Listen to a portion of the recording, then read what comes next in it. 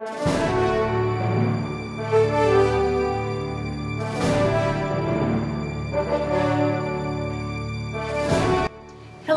I am Marcia Shavlik, Regent of the Major Isaac Sadler La Belle Vue Chapter, Daughters of the American Revolution.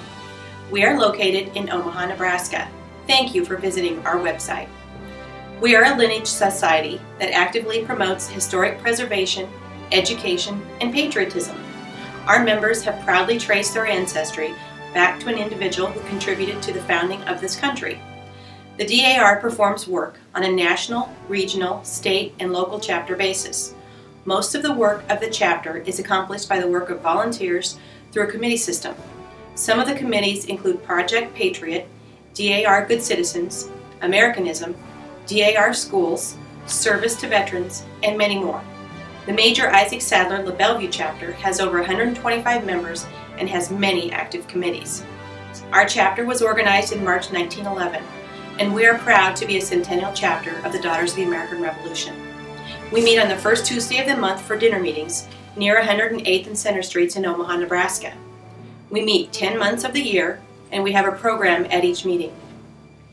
Speakers include historians, public officials, DAR members, and representatives of local organizations.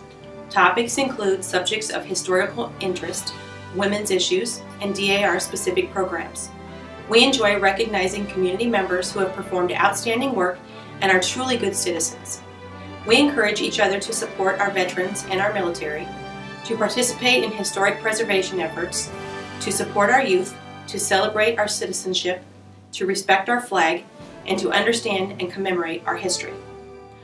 Our chapter is an excellent representation of women who have an interest in supporting their community and who want to stay in touch with their personal history to the American Revolution. Our members are students, homemakers, career women, young mothers, Nebraska State Society officers and chairmen, educators, active and retired members of the military, lawyers and paralegals, scientists and nurses, financial experts, philanthropists, community volunteers, and retired women, highlighting just a few of our multifaceted lives and backgrounds. We also support a chapter of the Children of the American Revolution, where we educate young people in patriotism and true love of country. Thank you again for visiting our website. We're here to inform, support, and guide newcomers into the wonderful world of DAR. I hope you will visit us at an upcoming chapter meeting.